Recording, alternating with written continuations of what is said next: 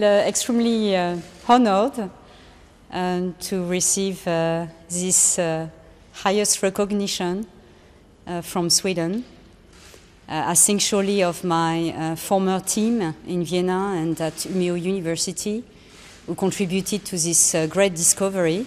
I also think of my, all my colleagues of the CRISPR field and uh, all the scientists who have uh, really done a fantastic job to bring this technology uh, further uh, that uh, allows now to have uh, a genome engineering technology, a very versatile one that is used by multiple scientists all over the world to modify genomes of cells and organisms. So it's, um, yeah, it's, it's a great discovery, and I'm uh, very happy to be one of the pioneers of this uh, discovery.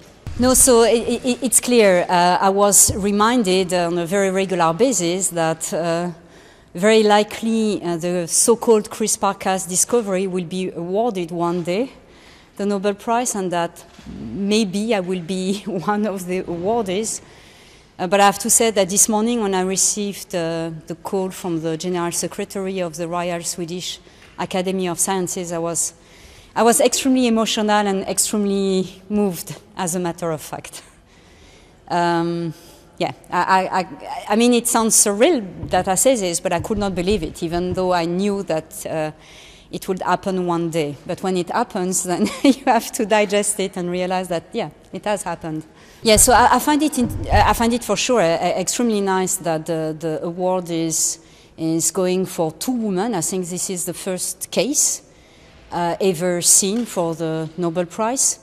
Um, and actually thinking about it, because I was asked the question this morning, I think it's, it's quite also reflective of uh, what you see nowadays. One has always to keep in mind that in general, uh, Nobel Prizes are awarded 20, 30 years after the discovery. And this discovery uh, is only eight years ago.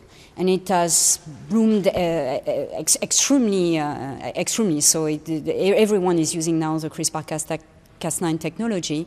And I think it's just reflective of what is happening in our days, meaning that uh, work is uh, scientific work involves collaborations and, and, you know we collaborate with scientists we think we should collaborate with whether they are female scientists or male scientists. Here it's just happened that it's two female scientists and it's quite reflective of what is happening in our days. I hope it will remain as such but it's reflective of the fact that science becomes more modern and involves more uh, female leaders. And i do hope that it will remain and even develop more in this direction because it's obviously maybe more cumbersome to be a woman in science than being a man in science.